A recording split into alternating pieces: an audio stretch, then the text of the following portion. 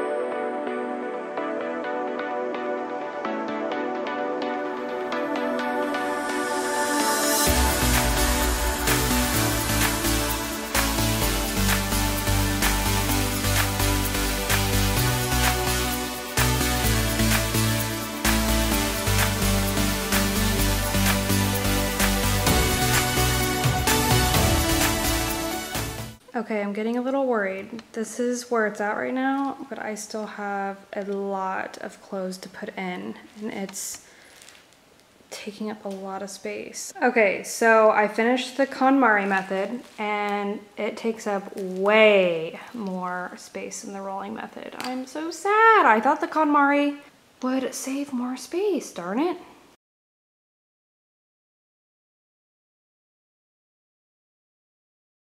But I'm going to take everything out again, roll it up, roll Liam stuff in there, and get everything in the suitcase and I will show you guys if I succeed in getting everything in there or not. So I will see you soon.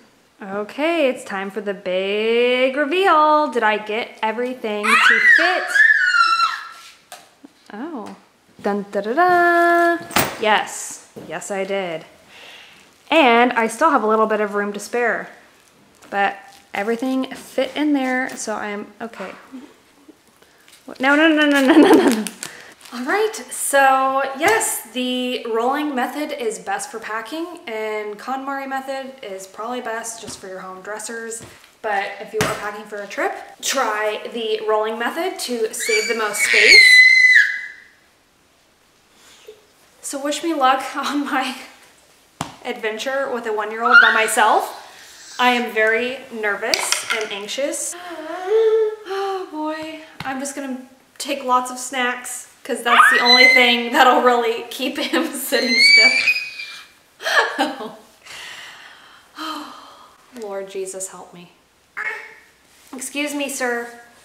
So I hope you enjoyed this video and I will see you in my next one. Bye! But wait.